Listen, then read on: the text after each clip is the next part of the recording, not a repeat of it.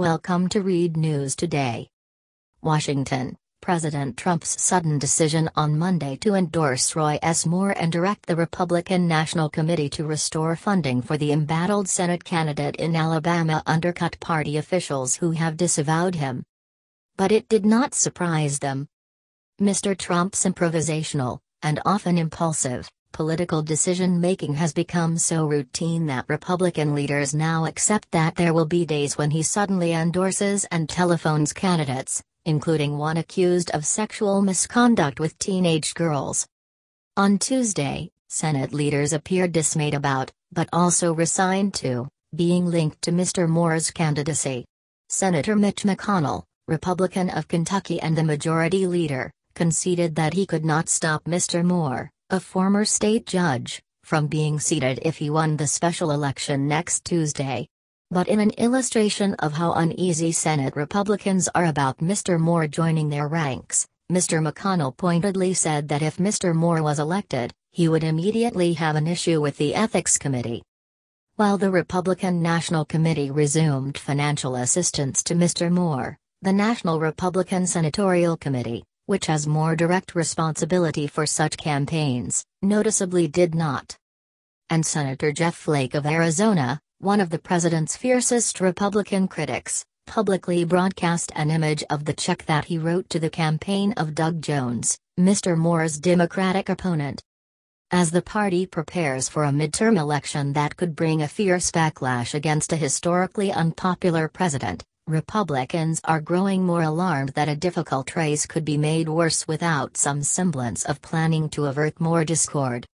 Some top party officials say they are worried that the political environment may prove punishing enough to cost Republicans control of the House.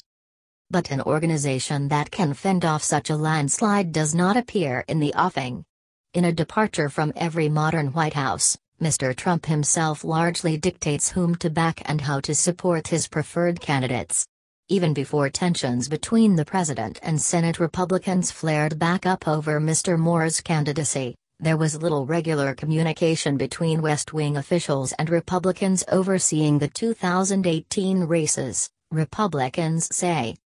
The scheduled meetings between the White House, the Republican National Committee, and the House and Senate campaign committees stopped months ago. Congressional officials find it difficult to get presidential sign-offs for even small requests like using Mr. Trump's name in direct mail appeals, according to party officials and less than a month until the election year begins, he has not scheduled a single fundraiser for a candidate running for the House, Senate or governor. Raj Shah, a White House spokesman, did not address the specifics of the relationship between the administration and the party, but said, the president has led the RNC toward record-breaking fundraising, helped the party go 5-0 in special elections, and is leading the effort to elect Republican candidates running for office up and down the ballot. Some top strategists involved with the midterm elections, including officials with the preeminent Republican Senate Super PAC, say they have yet to set foot in the White House for political planning sessions. A Trump advisor insisted that meetings were taking place, but said that for legal reasons, they were not happening at the White House. What's lacking is a central hierarchy in any decision making, which is critical to candidates across country, said Scott Reed, the senior political strategist at the U.S. Chamber of Commerce and a veteran of decades of campaigns.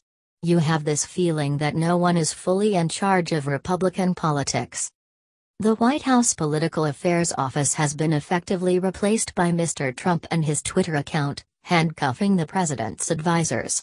Requests for presidential assistance or, as in the case of the Alabama race, intervention often go unanswered because Mr. Trump's staff members cannot offer any commitments, not knowing what the president will decide about a given candidate or campaign. And Mr. Trump himself is tugged in countless different directions, responding to advisers and lawmakers who have competing agendas. Republicans are going to have to all get on the same page said Josh Holmes, Mr. McConnell's top political lieutenant. If we go into a midterm and the Steve Bannons are successful at dividing the Republican Party before we even get to the general election, it's going to be a disaster, he continued, referring to the president's former chief strategist. Mr. Bannon still relays his thoughts to Mr. Trump and publicly encouraged him to rally to Mr. Moore's side. But Mr. Trump has also spurned Mr. Bannon's entreaties to oppose a handful of Senate Republican incumbents. Indeed, the president seems to delight in demonstrating that he is beholden to no one person or faction. He told almost nobody that he planned to tweet Monday in support of Mr. Moore. And in an effort to be prepared, aides were still discussing the possibility of Mr. Trump going to Alabama before the election next Tuesday. This week, he plans to hold a rally in Pensacola, Florida, just over the border from Alabama. In Mr. Trump's view, he has previously followed the advice of congressional Republicans only to find himself burned, White House aides say. The president threw his support behind Senator Luther Strange, the Republican appointee filling the Alabama seat of Attorney General Jeff Sessions, simply to see Mr. Strange lose by more than 9 percentage points to Mr. Moore in a runoff. Mr. McConnell's political operation has little credibility with the president, those aides say. And internally, Mr. Trump has no political official on his staff whom he instinctually trusts in the fashion of past presidents. A White House official said Bill Stepien, the White House political director, was on daily calls with the Republican National Committee. On Tuesday, the president, the vice president, John F. Kelly, the White House chief of staff, Rick Dearborn, a deputy chief of staff, and Mr. Stepien met in the Oval Office to discuss the 2018 landscape in detail, the official said. An extensive focus was on the Senate races, including in states like Arizona and Missouri. The official said the party committee, which provided Mr. Trump with the bulk of his resources during his general election campaign, had 200 staff members in 20 states. Still, Mr. Stepien has been seen as hobbled by others internally for months, aides also say. He is considered beholden to Jared Kushner, the president's son in law, who has drawn scrutiny by congressional investigators and the special counsel, Robert S. Mueller III. Mr. Stepien has little experience at this level of politics and is not seen as somebody who can steer Mr. Trump. Mr. Kelly, for his part, is a career military man and is open about his own lack of political experience.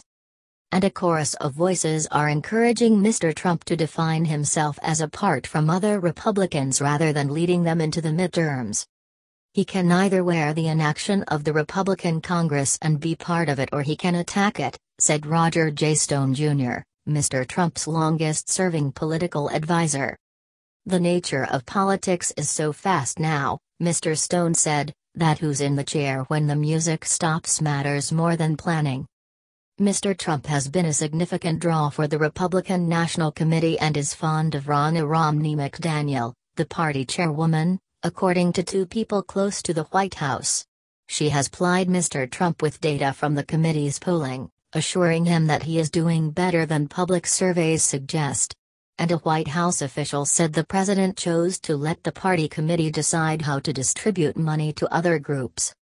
Yet the president does not completely understand his role as a principal, Republicans say, and his political operation does not have enough sway with him to make him fully grasp that he is the leader of the Republican Party. For example, he is still telling his friends who attend high dollar committee fundraisers that they do not need to pay, the sort of favoritism that can create endless headaches for staff. In two governors' races, in New Jersey and Virginia, this year, the candidates and their top advisors up through Election Day were uncertain what Mr. Trump might say about the elections.